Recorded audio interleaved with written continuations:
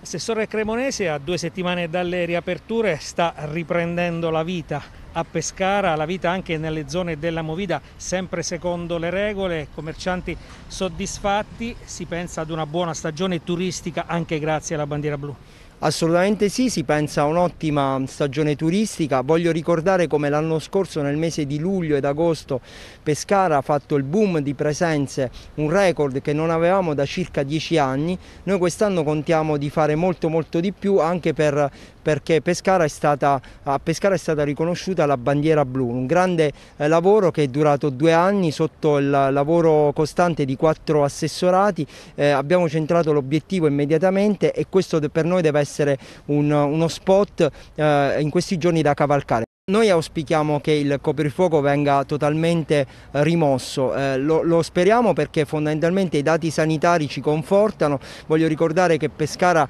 da, già da qualche settimana è una delle città eh, che ha le migliori performance eh, in Italia, credo che eh, tuttora lo sia dietro a Udine sostanzialmente, quindi abbiamo un numero bassissimo di contagi, crediamo tantissimo che i pescaresi e soprattutto le attività commerciali stanno rispettando le procedure che sono state state indicate dal Ministero della Salute, cioè quella del distanziamento, di cercare di evitare assembramenti, di usare le mascherine anche quando si sta eh, seduti che non si sta consumando. C'è una grande responsabilità, io vedo, vedo anche una grande voglia di vivere, il fine settimana scorso Pescara è letteralmente esplosa, non si entrava né da Montesilvano né da Chieti né da Francavilla, questo ci deve rincuorare e deve far pensare che le nostre attività hanno davvero bisogno che si riprenda perché il commercio già era eh, in una grave crisi, eh, la pandemia l'ha affossato ancora di più e c'è bisogno davvero di riprendere eh, il normale ritmo perché altrimenti molte partite IVA dovranno chiudere entro fine anno.